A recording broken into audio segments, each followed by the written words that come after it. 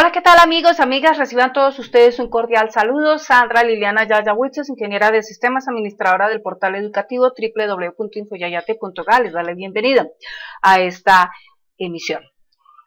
El video de hoy se titula Bed Project número 015.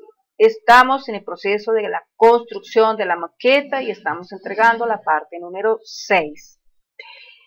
En este video cuyo desarrollo, emisión, locución y conducción, hablaremos del punto importante eh, que concierne a cuando vamos a trabajar el ingreso de los primeros objetos que vamos ya construyendo dentro de nuestra aplicación Vet Project, dentro de este proyecto veterinario que se incluye en este ciclo eh, formativo de Microsoft Access 2013 en la línea avanzada con énfasis en la programación a nivel de Visual Basic.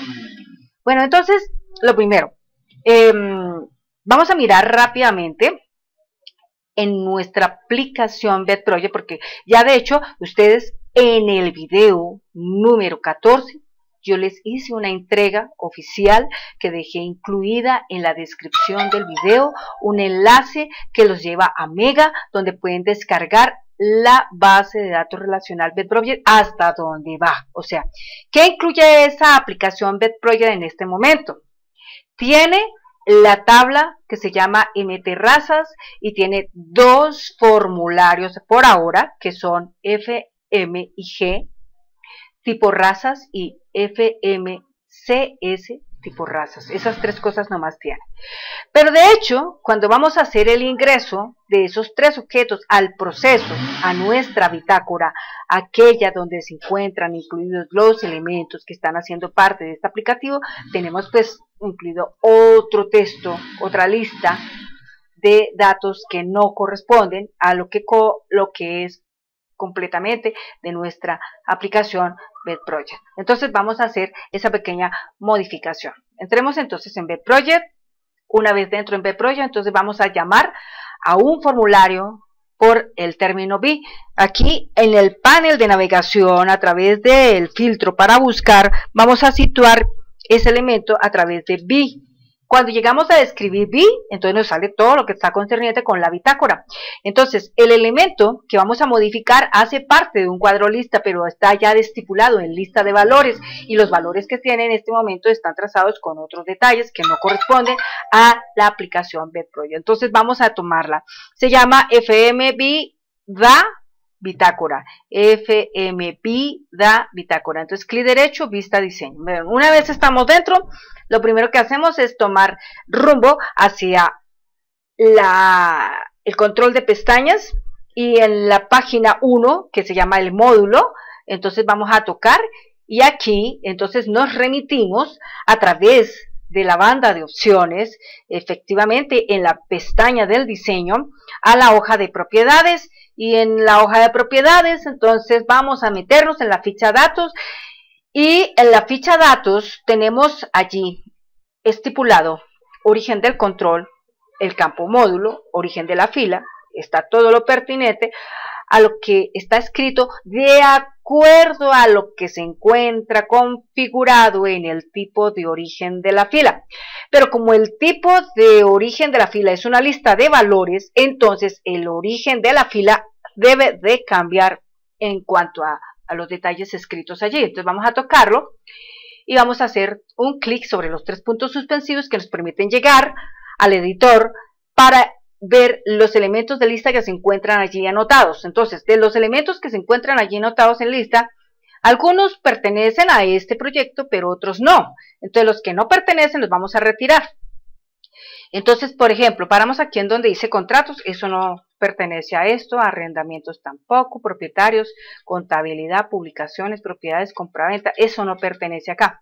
Entonces, lo único que pertenece aquí es usuarios, personas, procesos, pero le agregamos las nuevas cosas que son parte de este proyecto, como son mascotas, servicios, productos, clínica, laboratorio, eventos, patrocinio. Y punto. Eso es todo lo que tenemos acá. Porque eso es lo que está figurando en la ventana emergente, cuyo nombre es el panel principal.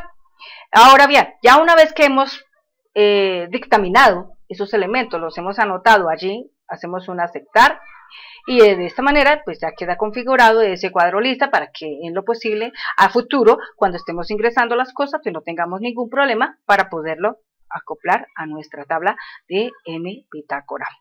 En la parte de los objetos seguimos igual en pie, sigue ahí también una lista de valores y ahí tenemos los mismos elementos. Tenemos en este momento acá la tabla, la consulta selección, la consulta de actualización, la consulta de eliminación, la consulta de anexar, la consulta crear tabla, el formulario, el informe, el módulo. Si nosotros quisiéramos agregar alguna cosa nueva aquí, entonces podríamos de hecho mm, pues hacerlo, ¿no? Esto inicialmente son los, los, los objetos que se consideran como, como los más importantes de una aplicación, pero de igual manera muchas veces nos quedamos un poquito cortos en algunas cosas que de pronto mm, tenemos que trabajar. Entonces, por ejemplo, tenemos una tabla, consulta selección, consulta actualización, consulta eliminación, consulta anexo, eh, consulta crear tablas, es decir, tenemos todos los ámbitos de la consulta, pero de pronto en a nivel de formulario no tenemos todos los ámbitos a nivel de formulario. Entonces, los formularios pueden ser varios, ¿no? Porque, por ejemplo, tenemos el formulario, eh, entonces podemos decir acá como algo nuevo, ahora nuevo para esto sería el, el formulario único, entonces el formulario único es el, el normal, ¿no? Pero si queremos eh, mejorar un poco esto, entonces podríamos decir que aquí sería un formulario, eh, un formulario, eh, mm, varios elementos, ¿sí? un formulario de navegación. El formulario de navegación generalmente es en los formularios donde manejamos nosotros lo que es la lista de los sitios a los cuales vamos a ingresar. Por ejemplo, ingresar, consulta, eh, actualización, listar, eliminar. Y el informe, no más, ¿sí? O listar es el mismo informe.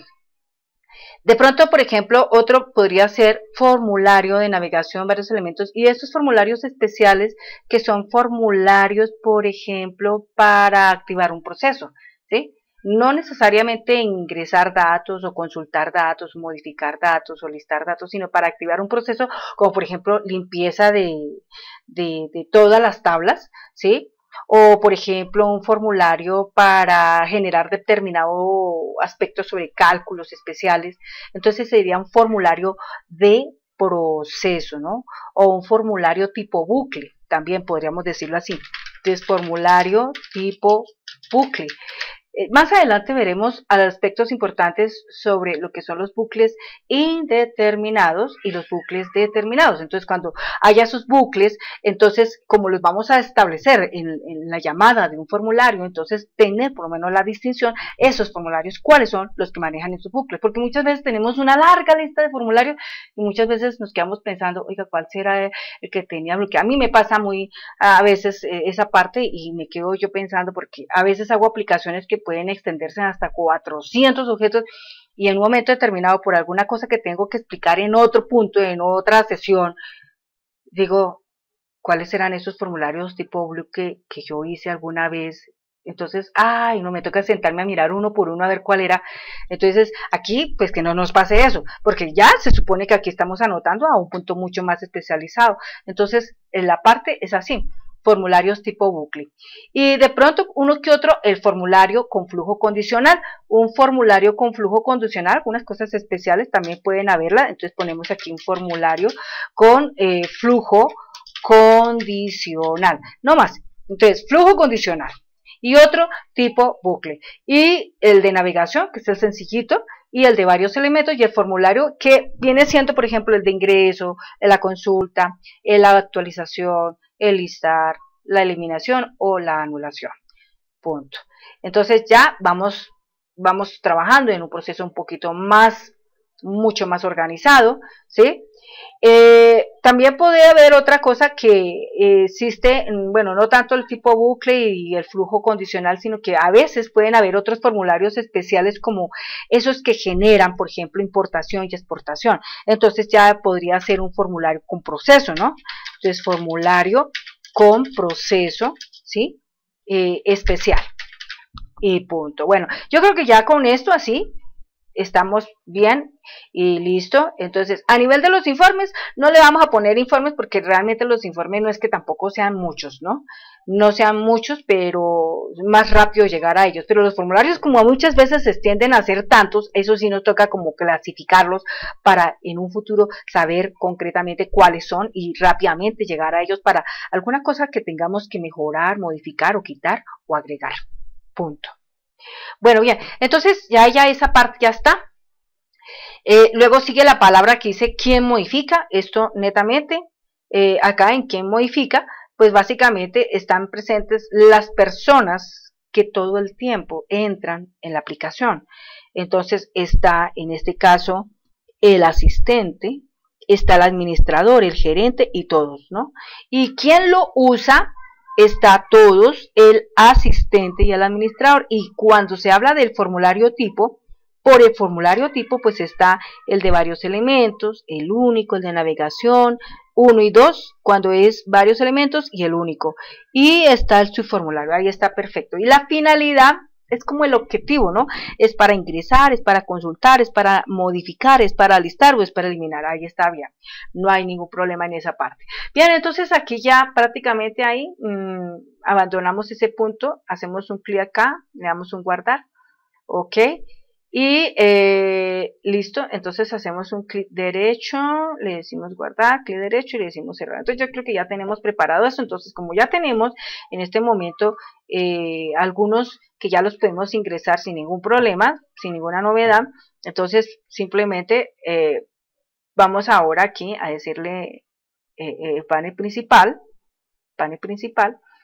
Y bien, entonces acá vamos a entrar a los procesos y acá en la bitácora Recordemos que para decir acá, dar alta, hay una clave, mucha atención, la clave es Dharma P, ¿sí? Dharma P, ¿ok? Dharma P. Eh, ese Dharma P se escribe con minúscula, ¿sí? Si, si no, lo, no lo han escuchado muy bien, de pronto no es muy claro el, el detalle, permítame un segundo, yo voy a hacer algo aquí especial. Eh, ¿Qué es lo especial que voy a hacer? Un momento acá. Voy a, voy a hacer un, pequeño break, un pequeño corte. Ya vuelvo. Ok, vuelvo otra vez acá. A ver, entonces acabo de activar mi aplicación que se llama el magnificador, que es el que me permite hacer un poquito de anotaciones en pantalla, ¿cierto? Aquí lo tengo ya. Entonces acá lo que yo voy a hacer es coger la letra A y acá en este espacio, ¿no es cierto? Aquí eh, voy a sacar como una flechita primero que todo. Entonces en este punto acá por aquí por aquí por aquí puede ser por aquí por ahí ¿sí? entonces escribimos lo siguiente. Recordemos entonces la clave aquí es de pero es una de minúscula no Dharma P así Dharma P para que lo tenga muy presente, ¿de acuerdo? Entonces, ahí en ese cuadrito usted escribe Dharma P y listo, un enter y ya está adentro. Bueno, ok, entonces finalizo acá. Eh, entonces acá simplemente cuando estoy en este punto le doy un enter, ya ingreso a la aplicación. Entonces en este momento me encuentro en el número 26, ¿listo? En el número 26. Pero mm, de hecho como ya hay un número por acá que yo anoté, entonces, eh, aquí voy a, voy a salir de acá un momento. Voy a salir de aquí un momento porque este, este error que me sale acá es porque hay un duplicado. ¿Sí? Hay un duplicado, entonces lo voy a revisar. Aquí voy a decirle clic derecho y voy a decirle cerrar. Eh, porque lo había anotado yo ahorita. Eh, acá. Entonces, ah, espérate, no era este, perdón. En mi, en mi bitácora ahí entonces este aquí 26 yo ya había escrito algo acá entonces clic derecho elimino ese registro digo que sí y ya listo bueno. entonces ahora sí entro otra vez al panel principal. Listo entro a procesos cuadro aquí la bitácora ya sabemos cuál es la clave. Escribimos acá en minúscula Dharma P y ahora sí entonces le ponemos MT razas Enter, el día 10 del primero del 2018, enter. Entonces, usuarios, personas, mascotas, procesos, servicios, productos, clínica, laboratorio, eventos, patrocinio. Entonces, ¿cuál de esos? Mascotas. ¿Listo? ¿Qué tipo de objeto es este? Una tabla. ¿Quién usa, quién modifica esta tabla? Pues entiende que el que la modifica en este momento es el ingeniero de sistemas, el programador, el desarrollador o la persona encargada de modificar. ¿sí? pero más exactamente el administrador es el que lo hace. Entonces vamos a activar acá el administrador. ¿Quién lo usa? Todos lo usan, ¿sí? Pero a veces puede ser que lo use solamente el asistente. Eh, formulario tipo. ¿Qué formulario es este? Este es un formulario, es una tabla única. ¿Y para qué sirve? Para ingresar, no más. Entonces acá vamos a guardar, vamos a actualizar el contador para que este número de 26 pase a 27 y vamos a hacer otro nuevo registro. Acá le vamos a decir continuar, agregar registro. Eso es una cosa que usted la tiene que hacer allá también en la base de datos, porque yo pues aquí ya lo estoy haciendo. Entonces vamos a meter aquí el FMIG, eh, tipo, eh, raza, listo.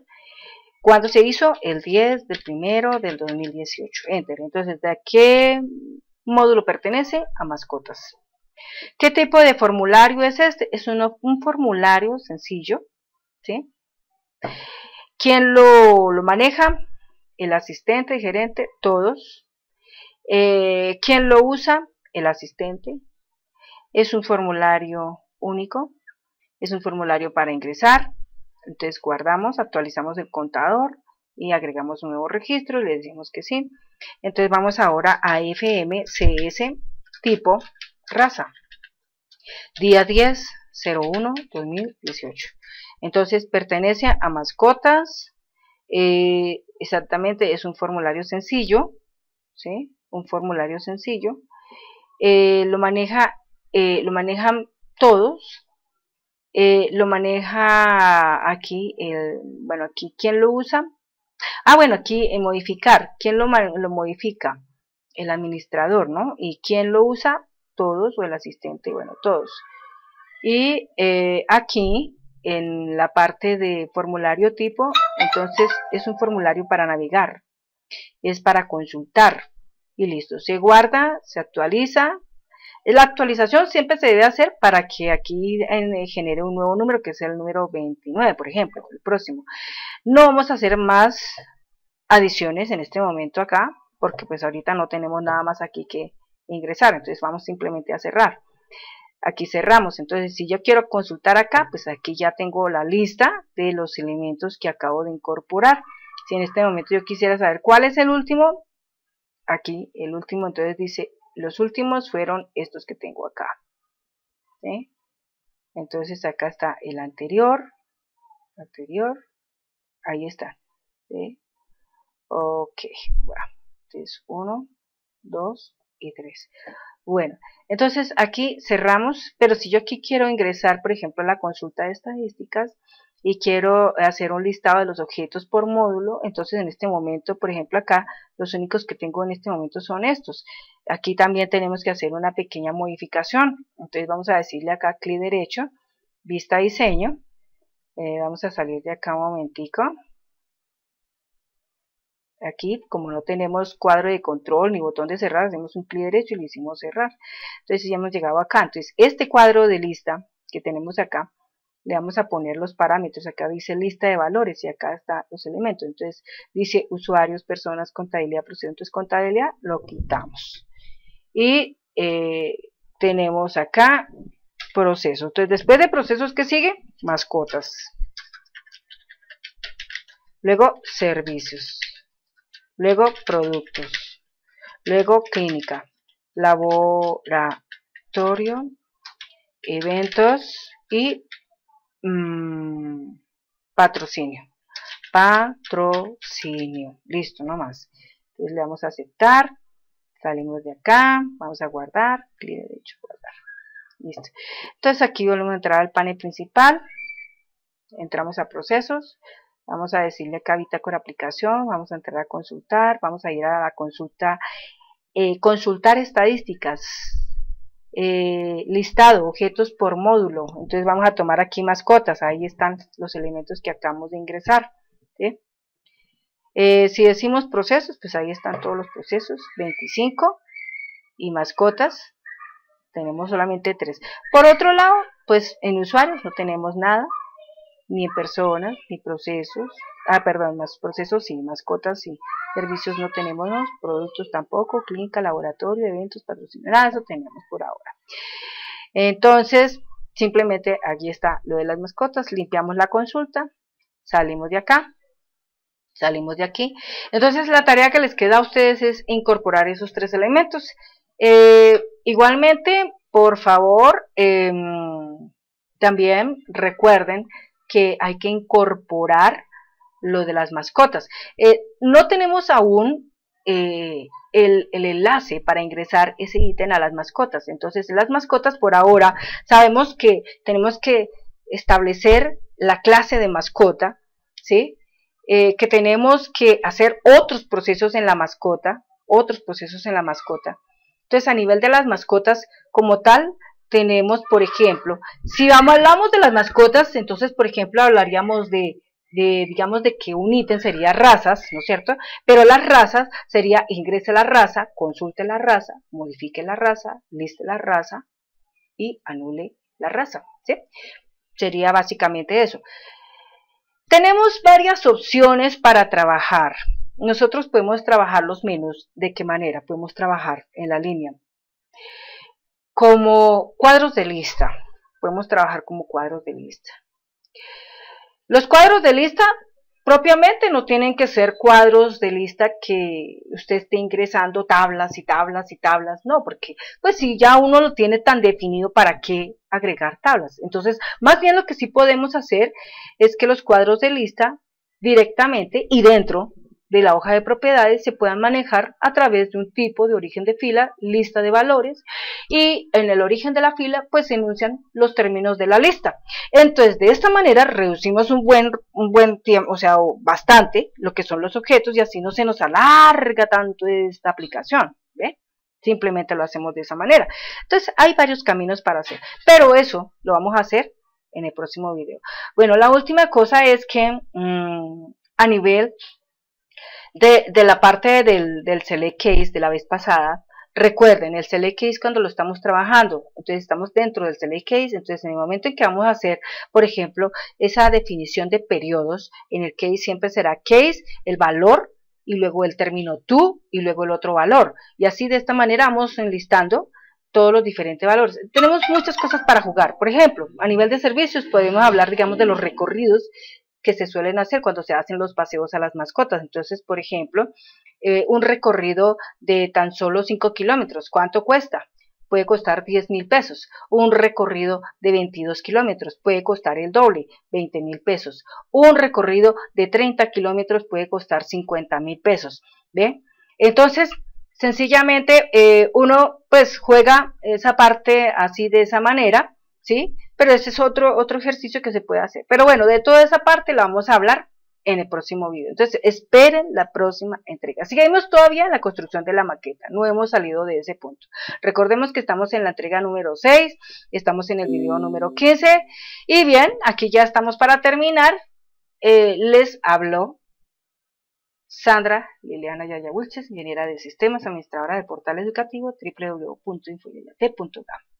Los invito a que me regalen un comentario, a que me den un like, a que puedan suscribirse si les gustó esta línea de formación y de paso invitar a otras personas a que se puedan suscribir. Hay conocidos, hay amigos, hay la familia, hay los contactos que usted tiene por el lado de sus estudios, por el lado de su trabajo, bueno, por en fin, clientes, etcétera de todo. Las redes sociales. Promulgar, difundir, ayuda mucho a que nosotros, los youtubers, podamos avanzar en el proceso. Nosotros, los youtubers, no somos personas que estamos recibiendo dinero en ningún momento en YouTube, a no ser que estemos monetizando, pero una monetización, la verdad, Si nos pagan por visualización es un centavo de dólar. ¿Qué representa un centavo de dólar en una visualización para nosotros? Nada. Ni siquiera es compensativo en la cantidad de tiempo, esfuerzo, trabajo, investigación, estudio que nos toca empuñar y empoderar para poder llegar a estos escenarios a explicarles a ustedes y traerles esta información casi que gratuitamente. Casi que gratuitamente porque no es tampoco gratuito, porque usted de todos modos para tener su internet tiene que pagar. Usted tiene que pagarle a un proveedor, ETV, a Claro, a Movistar o en otros países a cualquier proveedor que les suministre la internet. Tiene que usted sacar de su bolsillo, por ejemplo, 30 dólares, ¿no? O tiene que sacar eh, de pronto cerca de 80 pesos mexicanos o bueno, simplemente en pesos colombianos tiene que sacar aproximadamente 100 mil pesos mensuales para estar pagando su internet. Entonces no es tampoco gratis. Pero de todos modos es bueno que usted aproveche que estas oportunidades se presentan, porque recuerde que las oportunidades no es esperar a que le lleguen. Usted tiene que salir al mundo a crear la oportunidad. Entonces, piense que en esto aquí es como usted salir a este mundo a crear la oportunidad. Cree la oportunidad de poder usted recibir esta información casi que gratuitamente para que esto eleve un tanto su activo personal, donde su activo personal es su incremento en el conocimiento que para algo le va a servir a usted porque todo lo que usted aquí aprenda no es en vano. Lo que usted aquí aprende en algún momento de la vida le va a servir para conseguir un trabajo, le va a servir para encontrar un cliente, le va a servir para desarrollar una aplicación que un cliente suyo necesite y si usted tiene cómo podérselo dar y si usted tiene cómo poder generar la solución, adelante amigo, ahí está la oportunidad para que usted la pueda crear. Bueno, em, otro punto importante, hay personas que son propietarios de las empresas, tienen sus empleados, pero sus empleados no están completamente dotados de este talento y necesitan salir a buscar. También soy consciente, como mujer soy consciente que no se encuentra a la vuelta de la esquina una programadora y ojalá buena, ¿sí? También soy consciente que a las mujeres muy poco les gusta programar y las pocas que, que programan, bueno, son cotizadas y bastante y buscadas. En cualquier parte del mundo. Entonces, yo lo que les digo es que aquí Sandra Liliana Yaya Bulches está completamente disponible para trabajar con ustedes. Mi disponibilidad no significa representativamente que tenga que estar allá presencialmente, ¿sí? ¿No? Mi disponibilidad está también presente de manera remota, mi asesoría, mi orientación y mi asistencia remotamente también la puedo hacer. No siempre todo tiene que ser presencial. Estamos en la, era Estamos en la era de las redes. Estamos en la era en que todo se, se maneja de esta manera. Se, manera, se maneja de, de manera remota. Que lo importante es que el empresario que quiera contratar el talento humano como el que yo tengo, sabe que cuando va a empezar un proyecto, lo más importante es definir desde un principio y con una claridad las directrices del trabajo. Si las directrices del trabajo están completamente claras, no habrá jamás ninguna contienda, ni, ni, problemas, ni discusiones, ni situaciones de confusión. Nada de eso puede existir porque la directriz es muy clara y muy definida simplemente así. Y lo más importante de todo, que todos debemos siempre estar como tratando de adoptarlo. Decisiones conscientes. Oigan bien esto, decisiones conscientes. No generemos decisiones inconscientes. No es simplemente decir, ay, voy a contratar a esa persona y después, ay, no sabe que no, eso no era lo que yo quería. O las personas que dicen, no, no, no, es que yo empecé a hacer un proyecto en Access. No, y después está con que, ay, creo que tomé una decisión inconsciente. Si usted está queriendo tomar la decisión consciente de crear un aplicativo con el uso de Microsoft Access, bueno, es porque usted ya lo vio y sabe la potencia que hay. Yo sé que existen mejores lenguajes, existen mejores aplicaciones para poder hacer las cosas, pero todo también todo depende del bolsillo, ¿no? Depende del bolsillo, porque yo quiero, yo podría hacer una mejor, la podría hacer en PostgreSQL, pero eso cuesta un dineral. La podría hacer en PHP, pero eso cuesta un dineral. La podría hacer en JS, que es JavaScript, pero eso cuesta mucho dinero. Cada vez que yo quiera incursionar en hacer algo a nivel de la nube, porque quiero tener millones de clientes y un hosting poderoso que me sostenga una magnitud de almacenamiento en datos, me va a costar mucho dinero.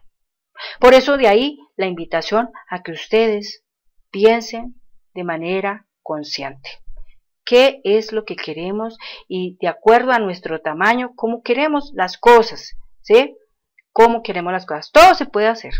A nivel de Access, hemos jugado en el ámbito de que se puede trabajar con el backend y el frontend. ¿Sí? Esos dos escenarios son para trabajar la parte donde juega el modelo de muchos usuarios, ¿no? Y se puede hacer.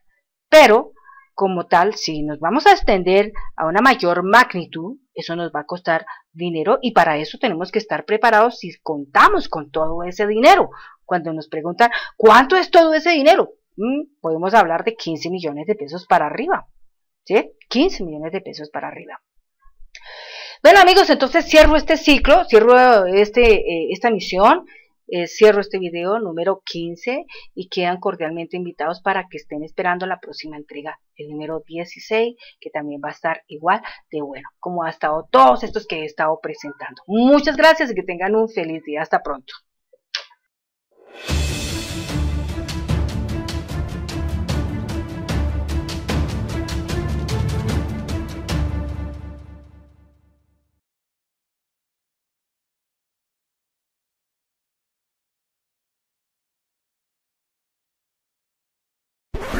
Created using Powtoon.